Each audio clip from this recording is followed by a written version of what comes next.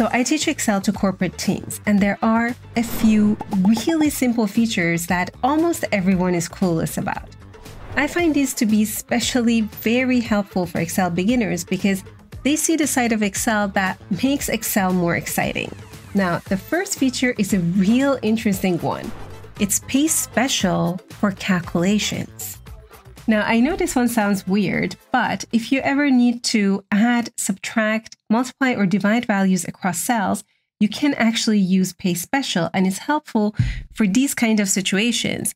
So here I have my sales by region and I just received an email with an attachment from my boss that contains additional sales. So that's what I got.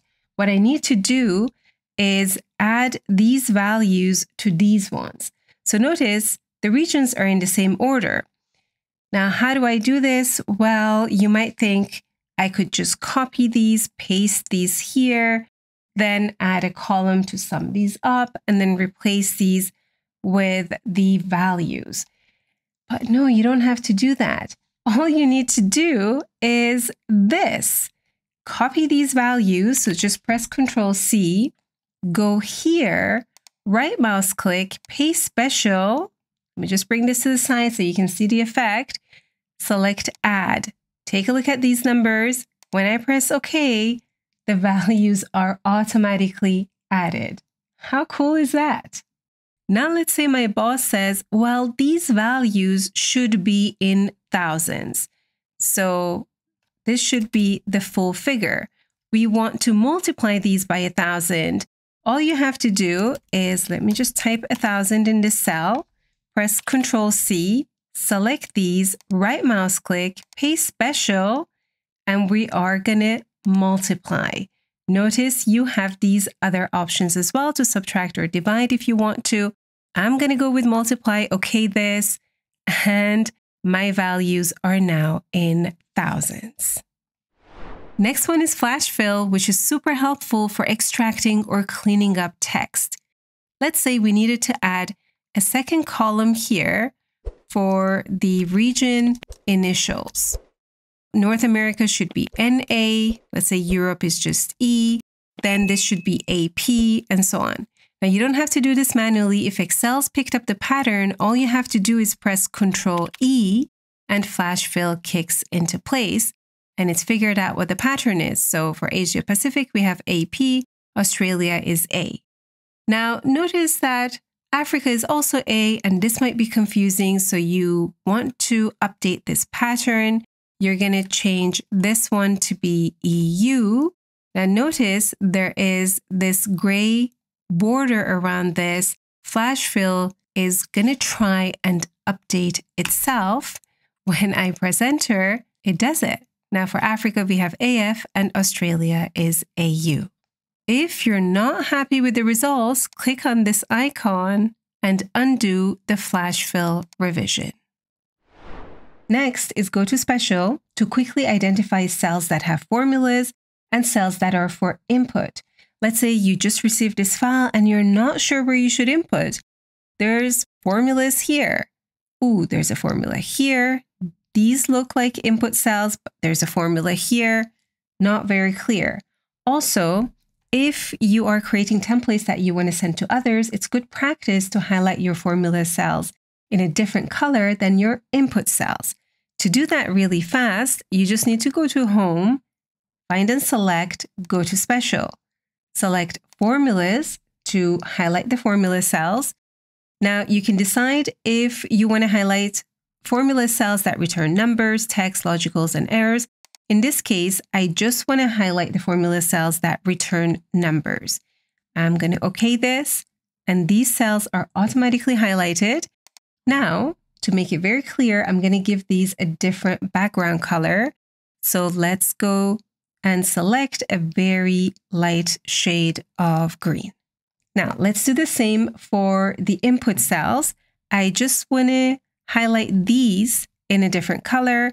Now, there isn't that many of them. I could, of course, do this manually, but if you have a large spreadsheet, you can do it in one go with Go to Special. The shortcut key for that is Control G. To get to the special part, use Alt S. Now this time we want to highlight cells that are constants and only numbers because I don't want to highlight these. I'm going to go with OK. Now let's go ahead and give these a different color. Now, if you're watching and thinking, ooh, there's a lot more to Excel than I thought, well, I've put together a complete Excel Essentials training program that covers everything you actually need for your corporate job. Now, funny thing is that we've even had advanced Excel users take it who realized that they were missing some really important basics. This is the fastest way that you can go from beginner to confident without the trial and error. Link to the course is in the description if you're interested. Now, let's get to our next feature. And that's F4 to repeat the last action. So let's say I want this cell to have a light green background. Now I want to apply that to this cell as well. All I need to do is press F4. Now, if you're using a laptop keyboard and F4 doesn't work, you might need to hold down the function key and then press F4. Now I'm going to press F4 here as well. Now, if you're wondering, well, what about the format painter? Can't I use that? Yes, you can, but this applies the entire cell formatting to another cell. Let's say for this one, I want it to still be in bold, but I want the green background. I just need to press F4. The cool thing is, this also applies to other types of actions. So let's say I want to adjust the column width of this column here, and I want to apply it to this one. All I need to do is select the column, press F4, select F4. That's it. Next is cell tips or screen tips. Basically, you can add pop-up messages to your cells like here. Now, these are very discreet. You don't see any marker here like you would if you would add a comment or a note, but they just pop up the moment someone clicks on the cell. Now, these are great for adding additional instructions, especially for the input cells in your templates. How do you add one? Well, this is a part of data validation. You just need to go to data, data validation, input message, and type in your message over here. That's it. And then they pop up when someone goes to the cell. To remove it, go back to data, data validation, and select clear all and OK this. Now, if you want to remove this one as well, what do you need to do? Just press F4. Now, this one is AutoFit because it can be pretty annoying and quite scary for Excel beginners to open their files and see this. Like, what happened to this number?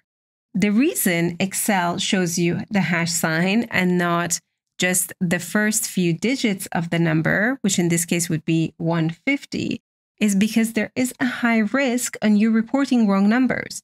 You see, Excel doesn't show you the hash sign for text, right? It just shows the first few letters, which is fine, but it's not so fine for numbers, right? It can be pretty risky. So to auto fit this, you would just double click here. Now you probably want to do it all at once for your entire sheet. You just select the whole sheet by clicking on this box on top, then double click on the column here, and this is going to auto fit all columns. To auto fit all rows, just double click here on the row as well. Next is to find and replace formatting. Yeah, so many people know about finding and replacing text, but not that you can do it for formatting as well. Let's say corporate now tells us we need to have different headers. These are too overcrowded. We want a minimalistic look. Change it for all the reports that you're using. The look they want is something simple like this. Let's just take away the background color as well and add a thicker bottom border here. Okay, so that's what they want. The quick way to do this is Go to Find and Replace, use the shortcut key Control H. Don't type anything here. Instead, go to Format. Choose Format from Cell. This is the format that we want to switch. The one that we want is this one right here. Now, there is something that you need to be aware of because this is a little bit sneaky. When you select a cell, it picks up all the formatting. If the text alignment, for example, for here is center, then this fixes it to center as well. So if I go to format, we can see under alignment, it's been fixed to center. So it will not be replacing any headers that look identical to this, but the text might be left aligned or right aligned. If you want to make sure that this is more flexible and it doesn't care about text alignment, you can clear that from here. Let's click on OK. And when I'm replacing it, I am going to go to format as well and clear this as well.